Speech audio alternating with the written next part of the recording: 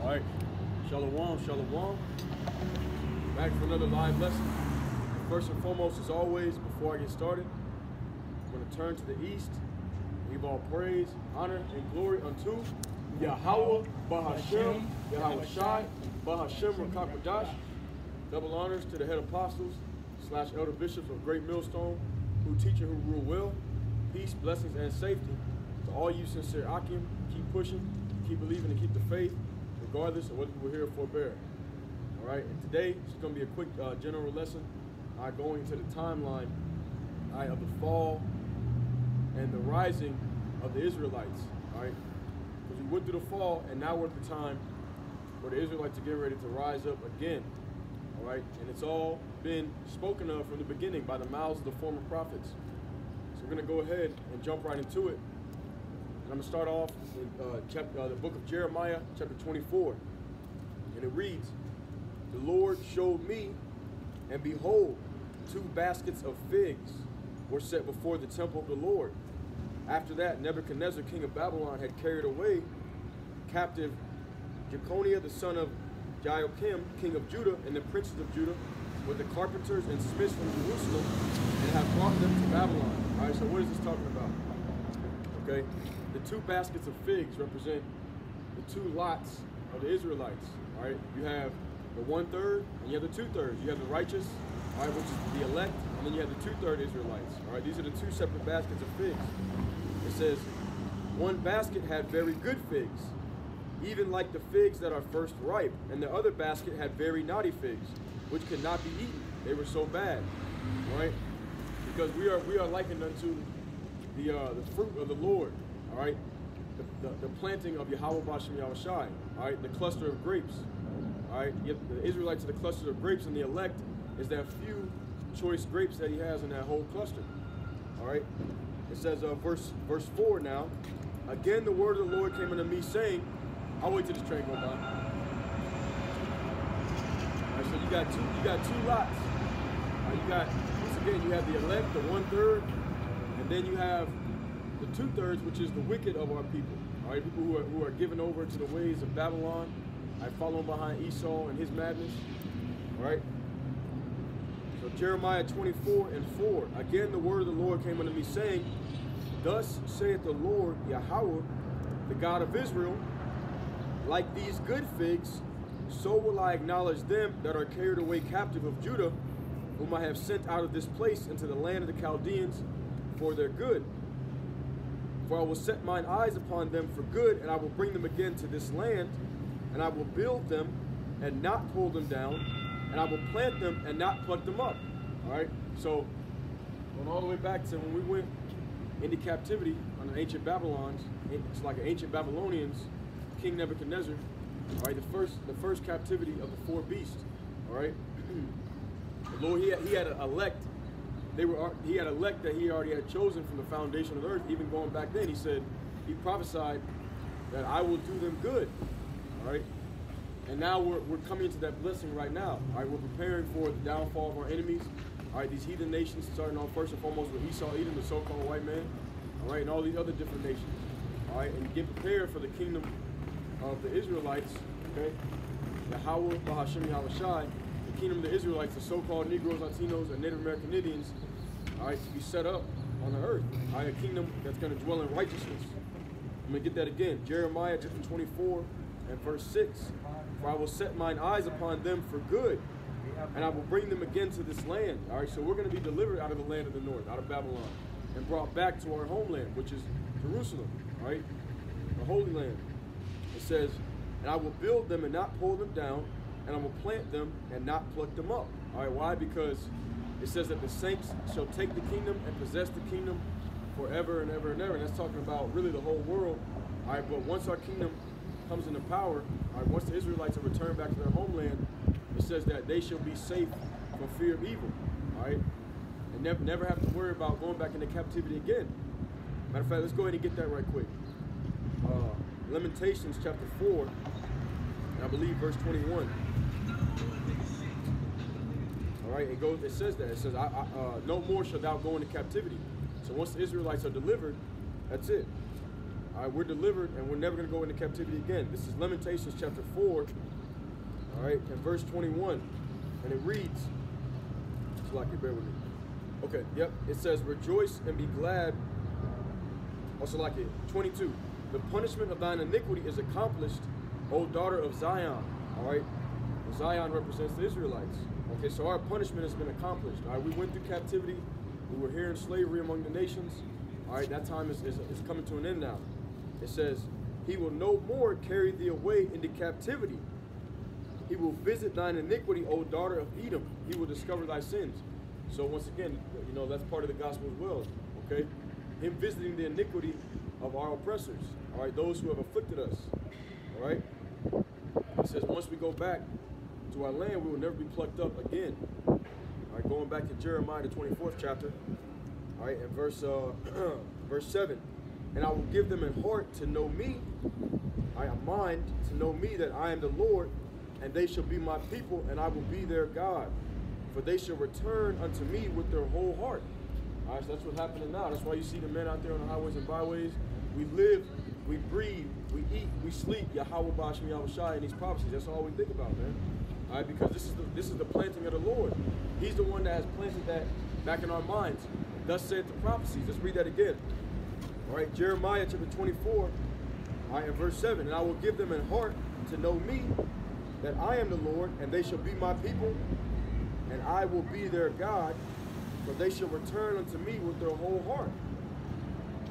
As, and as the evil figs, which cannot be eaten, they are so evil. All right, who is this representing? This is the two-thirds, okay? Because two-thirds of our people have completely given over into the ways of the wicked. I, as a matter of fact, the scriptures say they have become more wicked than the wicked. All right, let's go ahead and get that. Ezekiel, the fifth chapter.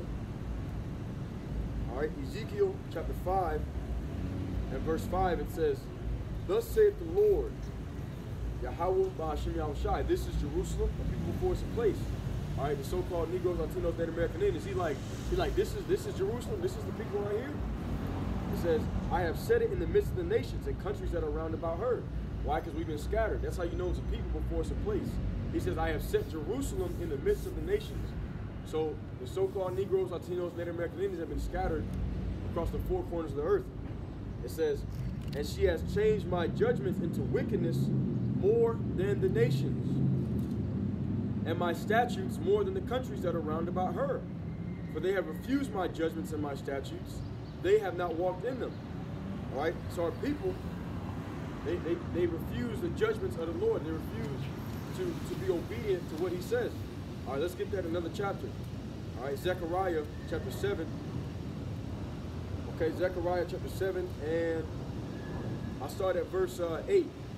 And the word of the Lord came unto Zechariah, saying, right? And Zechariah was one of the ancient prophets, just like you have the prophets out here today. All right, he puts the words in our mouth, and we go out there and speak them to the people, regardless of whether they hear or forbear. And the word of the Lord came unto Zechariah, saying, Thus speaketh the Lord of hosts, saying, Execute true judgment, and show mercy and compassion every man to his brother, and oppress not the widow, nor the fatherless, the stranger, nor the poor, and let none of you imagine evil against his brother in your heart. That's what that's what that's the message. That's what the Lord said. He said, keep my commandments. And what, what is what are the commandments based off of? What he, what he's saying right here. He says what? But they refused to hearken and pulled away the shoulder and stopped their ears that they should not hear. You see, so our people, they've been they've been uh, constantly rebellious. All right. The Lord said, hey, keep these commandments. Do do you know execute true judgment. Do not oppress the fatherless, the poor. But what? They've taken on the ways of Esau Edom. All right.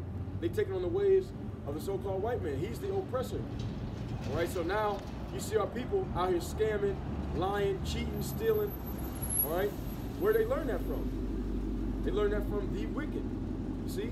That's why it says what we just got in Ezekiel chapter 5 and verse 6. All right, we just read that they have turned my judgments into wickedness more than the nations. Our people have become more wicked than the devil himself, man. All right, but they've always been rebellious. All right, we already knew that they were not going to listen. The Lord prophesied of that in Ezekiel. Let's get that, chapter 3, and I believe verse 7. All right. Ezekiel 3 and 7, it says, But the house of Israel, all right, so-called Negroes, Latinos, Native American Indians, will not hearken unto thee. So even though we out here doing this, doing this work, preaching this blessed word, the Lord already said they're not going to listen to you, man. The Lord already said that. All right. It says, "For they were not hearken unto me. For all the house of Israel are impudent and hard-hearted." All right. So our people, they have a hard heart. All right, stiff-hearted, stiff-necked. All right, and that's why the Lord's got to bring those judgments. These are the bad, these are the bad uh, figs that's spoken of in Jeremiah the 24th chapter. This is two thirds right here, man. All right, going back to Zechariah 7, there's a little more meat on that. All right, Zechariah chapter 7 and verse uh, 12, it says, Yea, they made their hearts as an adamant stone, lest they should hear the law and the words which the Lord of hosts hath sent in his spirit by the former prophets. Therefore came a great wrath from the Lord of hosts. You see? So they made their heart as adamant stone. All right? Their heart meaning their mind, meaning nothing could get through. They were set in their ways. All right? As, as, as the uh, saying goes, they were set in stone. All right? The people, they would not hearken until the words of the Lord come out of the mouths of the prophets. It says, verse 13, Therefore, it has come to pass that as he cried and they would not hear, so they cried and I would not hear, saith the Lord of hosts. All right? And that's what happened. You see, you saw our people went into captivity. We had yokes of iron put upon our necks. They fed our children to alligators. All right? Of course, they're going to have to pay for all these things, but like, why did these evils, why did these calamities befall our people? Because we turned against our power. We turned against Yahweh Bashim Yahushai. Right? Even the heathens acknowledge that. Even they know that. All right, let's get that in uh, Jeremiah chapter 50 and verse 7. Let's go there right quick. All right, even the heathens know that when we turn against our power, that, that we're weak. All right, this is Jeremiah chapter 50 and verse 7. It says, All that found them have devoured them, and their adversaries said, We offend not, because they have sinned against the Lord, the habitation of justice, even the Lord of their father, even the Lord, the hope of their fathers. So they knew that we had went off, and they were waiting. They said, as soon as they go off, we're going to get these people. All right? Psalms 83rd chapter goes into that. They have taken crafty counsel against thy people. See? That's what that's going into. And see, that's the thing about it. See, the Lord, he could have saved us at any time, but he said, no, you've got to pay for your rebellion. And now we're getting ready to come into that second time where the Lord is getting ready to destroy the two-thirds of our people for their rebellion. And we're coming here to give you warning. Day in, day out, week in and week out. Regardless of whether they hear or forbear. All right? Because ain't nobody listening. But it's already prophesied nobody's going to listen. You got Jakes, you got Negroes, Latinos, Native American Indians walking by. Ain't nobody hearing these words. That's okay. All right, we the Lord just said, give them warning from me. All right? It don't matter. If you don't want to listen, that's on that's your blood on your own hand, man. All right, Isaiah, let's get this. Isaiah 59. Isaiah chapter 59 and verse, uh, I'll start at 1 and 2. All right? It reads, Behold, the Lord's hand is not shortened, that it cannot save, neither his ear is heavy, that it cannot hear. All right, so any situation that you in, the Lord can deliver you from it, including this captivity that we in. All right, we, we, we, we're at the bottom of society. You know what I'm saying? We live in the hoods, the ghettos, the barrios, the reservations. All right, why are we in this condition? Because of our own disobedience. All right, it says, verse 2 But your iniquities have separated between you and your God, and your sins have hid his face from you, that he will not hear. All right, so because of the iniquity, the wickedness of our people, the Lord has hid his face from us. But as we as prophesied, as we just read in Jeremiah the 24th chapter, all right, he said that he was going to uh, uh, pour his spirit upon the seed, and they're going to turn back to him with all their heart. And that's what's happening now. That's the remnant. That's the elect. Okay? That's the good figs that are going to be delivered out of this place. All right, let's go to uh, Psalms 81st chapter. Let's get that right quick. All right, because the Lord said, if my people had hearkened unto me, I would have soon delivered them from their adversaries. All right, this is Psalms 81. All right, and verse 13. It says, Oh, that my people, who are the Lord's people, you Israelites, all right, so-called Negroes, Latinos, Native American Indians, and those who may look like other nations, but your seed line goes back to Abraham, Isaac, and Jacob. This is the Lord's people right here. It says, Oh, my people had hearkened unto me, and Israel had walked in my ways, I should soon have subdued their enemies and turned my hand against their adversaries. So if all the Israelites came on one accord, all right, and turned back to the law, statutes, commandments of the Lord, all right, through the power and spirit, through the faith of Yahweh Shai, all right, the Lord said, I would have subdued their enemies. All right, but we know that only the elect, the remnant, is gonna is gonna do that. So that's what we're doing now. All right, we're offering them spiritual sacrifices. Okay, we're serving the Lord in the beauty of holiness. And what does holiness means? It means to be separate from the world. While the rest of the world is celebrating Christmas, Thanksgiving, Easter, uh, we've turned away from that. That word holy means separate. We turned away from that. We came out of the customs of the world. All right, we're preparing ourselves as, as, as virgins for Yahweh Shai. All right, to, to be bid to the marriage. Okay? We're serving him in sincerity and truth with all of our hearts. All right? There's, there's lots of things that we could be doing right now, but instead, we're out here following the commandments of Yahweh Bashim Yahweh Shai. Let's keep rolling though. Jeremiah chapter 24. All right? I'm going to read that again, verse 7. And I will give them a heart to know me, that I am the Lord, and they shall be my people, and I will be their God, and they shall return unto me with their whole heart. And as the evil figs, all right, the two thirds, which cannot be eaten, they are so evil. Surely thus saith the Lord, so will I give Zedekiah the king of Judah and his princes and the residue of Jerusalem that remain in his land, and them that dwell in Egypt, and I will deliver them to be removed into all the kingdoms of the earth for their hurt, to be a reproach, and a proverb, and a taunt, and a curse in all places where I shall drive them. All right, what is this going to? It's going to the curses. All right, Deuteronomy 28 chapter. Okay? Verse uh, 10. And I will send the sword, the famine, and the pestilence among them till they be consumed from off the land that I gave unto them and to their fathers. And we know that this happened. All right? We were uh, 70 AD. All right? That, that was the last time that, that we were actually all, you know, not all of us, because the northern kingdom had been exiled into what's known as the Americas today. And the Bible, is called Arsareth. All right, Arsareth means a land that no one had inhabited before. We know the Northern Kingdom, so-called Latinos, Native American Indians were already here in that time, but 70 AD was when we still knew that we were Israelites, and we still had our heritage, all right, on that side of the world at least. But he completely drove us out of that land. A lot of us fled into West Africa, all right, and from there we were taken over here to America to serve out our captivity. All right, so the Lord made good on his word.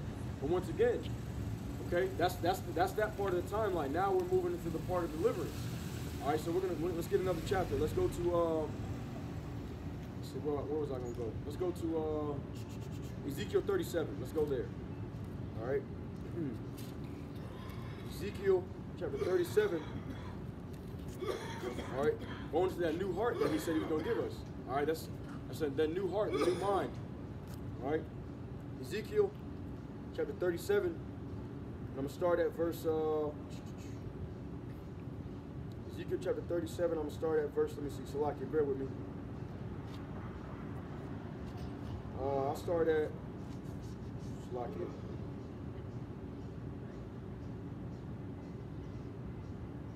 Oh, you know what? I, meant, I think I meant to say 36. Yeah, I, I meant to say 36. Ezekiel 36. And uh, let's see.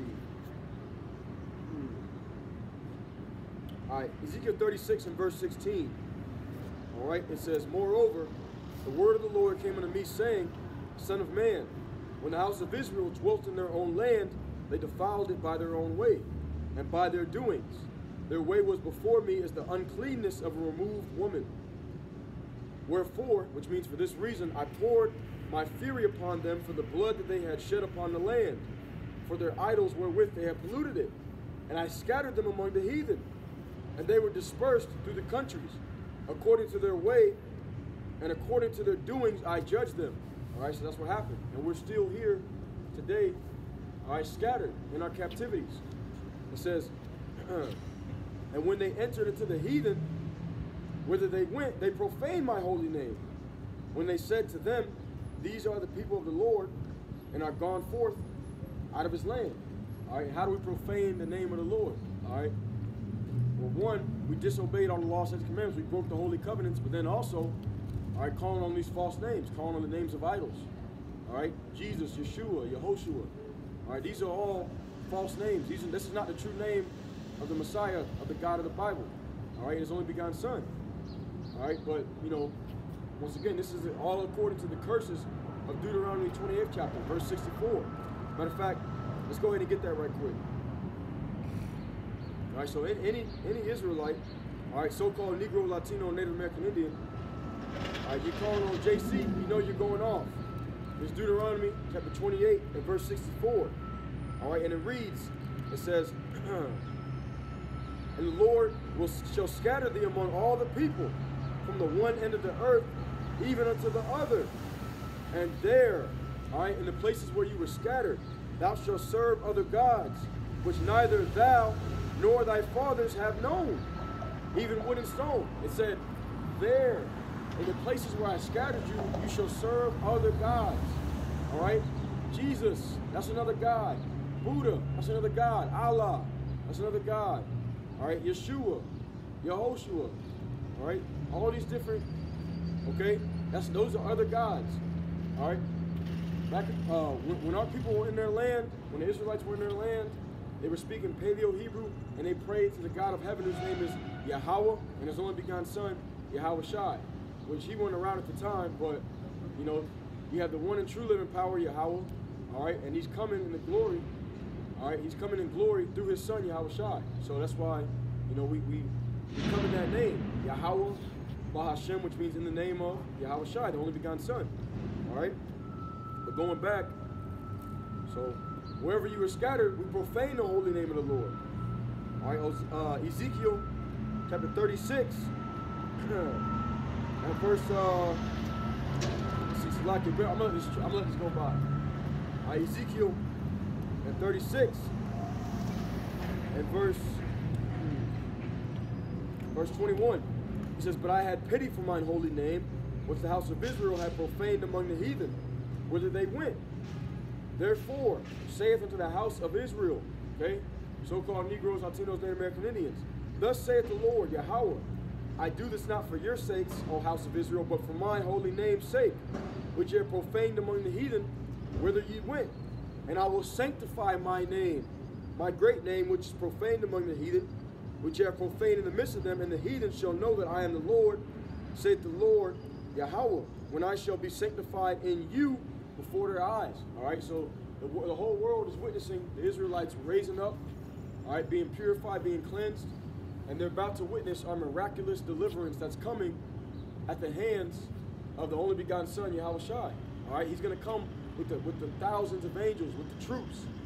Okay, with, with, with it says, "Behold, the Lord coming with clouds." All right, thousands of, of so-called UFOs, so, the chariots. All right, that's that's going to be deliverance of the people. All right, uh, of the Israelites, the elect of the nation of Israel. All right, they should be amazed at the strangers of His salvation. Says, uh, Ezekiel 36 and verse 24. For I will take you from among the heathen and gather you out of all countries, and will bring you into your own land. Then will I sprinkle clean water upon you, and ye shall be clean from all your filthiness. And from all your idols will I cleanse you. So you're not going to be all the idols that we were calling on. He says he's going to cleanse us from all that. All right, you're not going to be calling on the idols of the nations anymore. All right. So now we return. We're calling back. We're calling on true proper names of the Heavenly Father and His only begotten Son in the Paleo Hebrew tongue, Yahweh Ba'ashem Yahweh Shai, all right, which is prophesied of. All right, he said, I'm going to give you a new heart to serve me. All right, with all your mind, all your spirit, all your heart. All right, Ezekiel 36 and 26, a new heart also will I give you, and a new spirit will I put within you. And I will take away the stony heart out of your flesh, and I will give you a heart of flesh. And I will put my spirit within you and cause you to walk in all my statutes, and you shall keep my judgments and do them. So this is not of us. This is of the Heavenly Father. He's put that spirit on us. That's why he says he's going to sanctify us, make us clean before the heathen. And the heathen are going to know that this is the planting of Yahweh Bashim Yahushai. All right, we're, we're holy, separate from the rest of the world. All right, that's how we're becoming now, as he intended us to be. All right, it says, uh, Ezekiel 36 and 28, and ye shall dwell in the land that I gave to your fathers, and ye shall be my people, and I will be your God and I will save you. I will also save you from all your uncleanness, and I will call for the corn and will increase it and lay no famine upon you. All right, so all of our curses are getting ready to come off. All right, that's the time we're coming into. Our curses are getting ready to come off of us, and they're going to go unto our enemies. All right? It says, uh, and I will multiply the fruit of the tree and increase of the field, that ye shall receive no more reproach of famine among the heathen. Then shall ye remember your your own evil ways and your doings that were not good. All right? and shall loathe yourselves in, in, in, your own sight for your iniquities and for your abominations. All right, so all these things are going to come to pass, man. All right, like I said, we're being cleaned up right now right, in the eyes of all the people on earth. They don't recognize what's happening, but soon, when the Lord, when the Lord brings these evils, you're going to see exactly who the true people of the Lord are, those who keep His commandments. He's going to deliver them. And that's really only the elect of the nation of Israel. Right, no one else is keeping the law, and commandments. No one else is out here on the highways and byways doing the work that, as it said the prophets will be doing in the last days. All right? Ex except for the Hebrew Israelites, and specifically those of Great Millstone. Right? And their affiliates. But anyways, let's, let's keep rolling. All right, it says, uh, oh, this is beautiful. All right, Ezekiel 36 and verse uh, 32. Not for your sakes do I do this, saith the Lord Yahweh. Be it known unto you. Be ashamed and confounded for your own ways, O house of Israel. So we're ashamed of all of our past wickedness. But the Lord has made us a new creature. Right, it says, Thus saith the Lord, Yahweh, in that day that I shall have cleansed you from all your iniquities, I will also cause you to dwell in the cities, and the waste shall be builded. All right, because the Lord is going to completely destroy all this earth. And we're going to have these heathen nations in captivity and slavery rebuilding the earth. All right, it's going to say that. It says, and the desolate land shall be tilled, where is it laid desolate in the sight of all that pass by. So it's going to be rebuilt. All right, it says, uh, to bear with me. All right, verse uh, 35, and they shall say, this land was desolate, that was desolate is become as has become like the Garden of Eden and the waste and desolate and ruined cities are become fenced and are inhabited. So the earth is going to be rebuilt all right, by these heathen nations, man. It says, then the heathen that are left around about you shall know that I, the Lord, built the build the ruined places and plant that was that was desolate. I, the Lord, have spoken it, and I will do it. All right. So that's what's that's what's getting ready to happen. Thus saith the Lord, Yahweh, I will yet for this Yet for this be inquired of by the house of Israel to do it for them. I will increase them with men like a flock, as the holy flock, as the flock of Jerusalem in her solemn feast. So shall the waste cities be filled with flocks of men, and they shall know that I am the Lord. So we're going to be increased, all right, once again upon the face of the earth. We're not going to be under the curses anymore. And let's get ready to close out. Let's, let's get one more chapter. and I'll close out with this.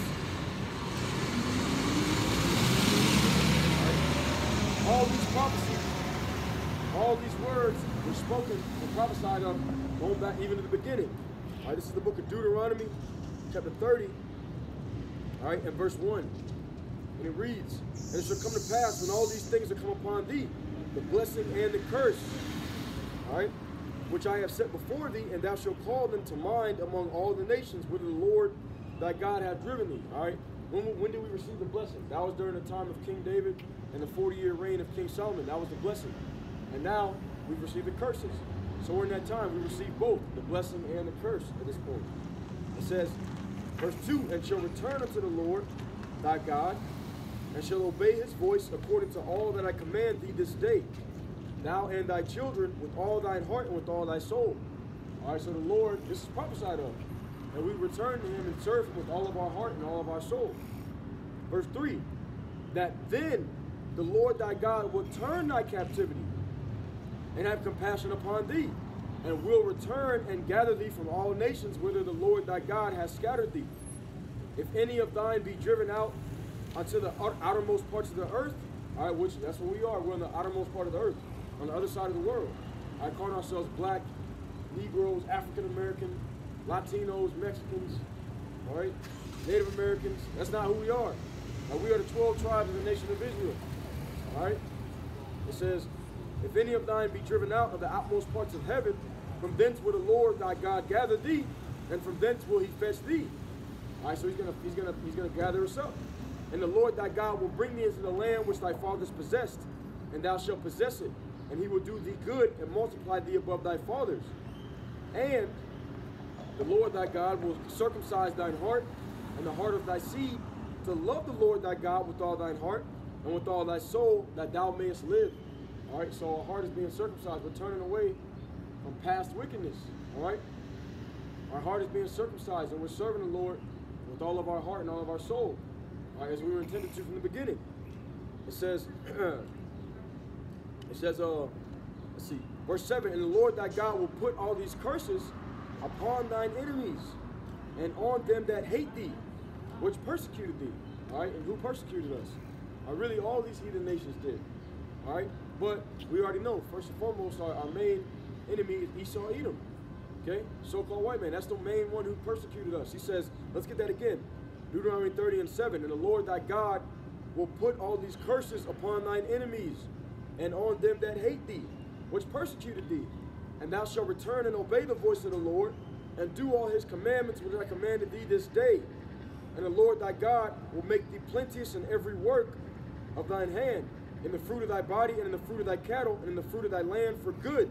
For the Lord will again rejoice over thee for good, as he rejoiced over thy fathers. All right? So, that's what's getting ready to happen, man. All right, this, this is a timeline in which the Lord set up, which he prophesied all the way going back to Moses and all the, the former prophets of old. All right, so we're getting ready to come into that. If you want to be a part of that, turn back, repent. All right, seek you the old path. All right, learn these prophecies and focus on your how about me Shai, because those gates of mercy are closing. All right, as we read in Jeremiah the 24th chapter, uh, he's going to destroy the bad figs and he's going to deliver the good figs. You want to be one of the good figs. All right. So, anyways, I'm gonna close out with that. Lord's will. This was edifying to the elect, wherever may be scattered across the four winds of heaven. Turn to the east and give all praise, honor, and glory unto Yahweh, Bahashem, Yahawashi, Bahashem, Ruach Hakodesh. Double honors to the head apostles, slash elder bishops, a great millstone, who teach and who rule well. Peace, blessings, and safety to all you sincere Akim. Keep pushing, keep believing, and keep the faith, regardless of whether we're here or forbear. Until next time, shalom and abide ball.